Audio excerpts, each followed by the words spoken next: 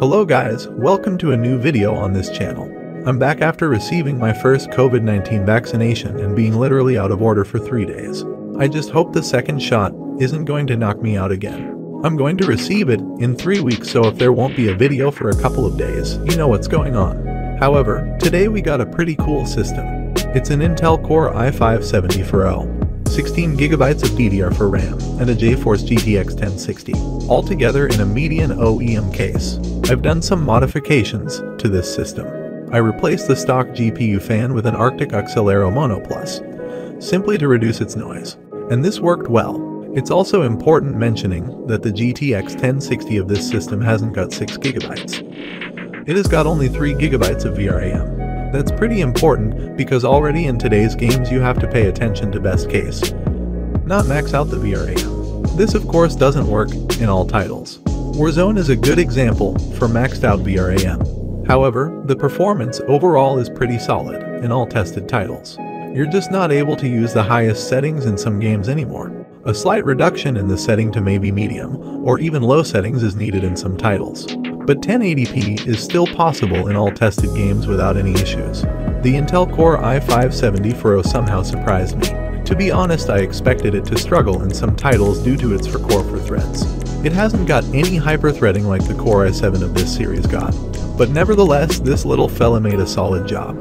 It's not a CPU that will give you 100 plus FPS in all titles, but for 60 plus FPS it's still fine. So overall I'd say this system is a very balanced one. CPU and GPU fit together perfectly fine. They're matching each other well. There's no heavy bottleneck in any title so in my opinion, a very good system build. Neither would I pair the i5-74 with a stronger GPU nor would I pair the GTX 1060 3GB with a stronger CPU. But let's come to the real question. Would I recommend this system for gaming in 2021? Yes actually. It's as always, you get what you pay for. System prices are dropping right now so this one might be an option for you in use condition on eBay. I found one for 350 euros. This is a bargain, in my humble opinion. It's still good enough for 1080p gaming so yeah. Why not give it a shot if you're on a tight budget? You could even upgrade to an i7 later on if you need more threads. That's it for my voiceover. Uh, yes, before I forget. My Elgato HD60S started to cause a crackling sound in my recording again so I had to add music, like in my previous video. I hope you don't mind. If you like this video, why not support this channel? Leave a like and subscribe if you haven't done already. I hopefully see you all in the next one. Stay safe and have a great day. Goodbye.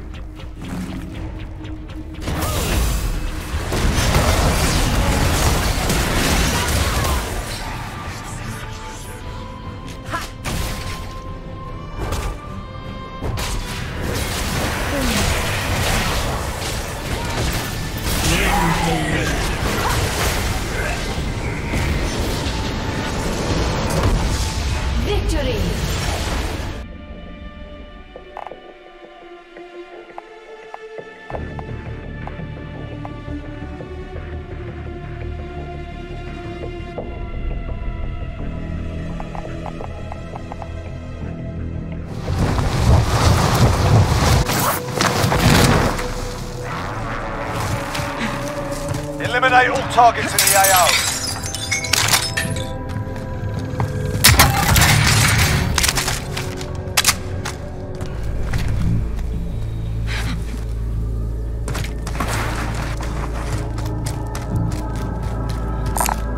Mounting contract. Let's get it.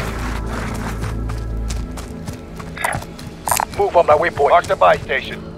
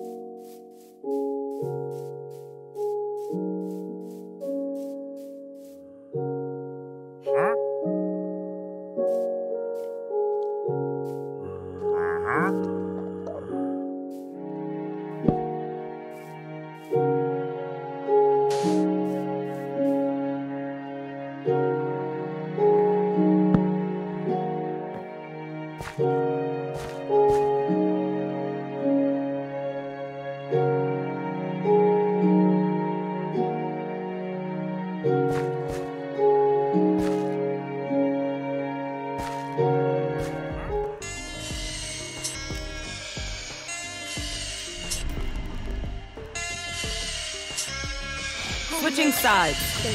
Match point.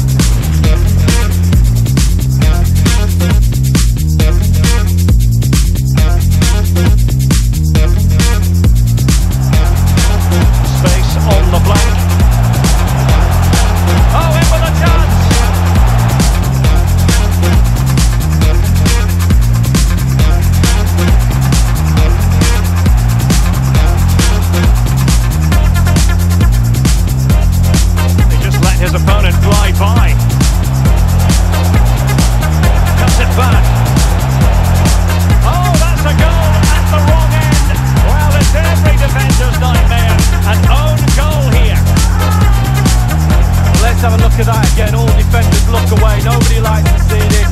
It's poor, you have to say, but it's important now that he puts his head back on and starts to concentrate on the rest of the game.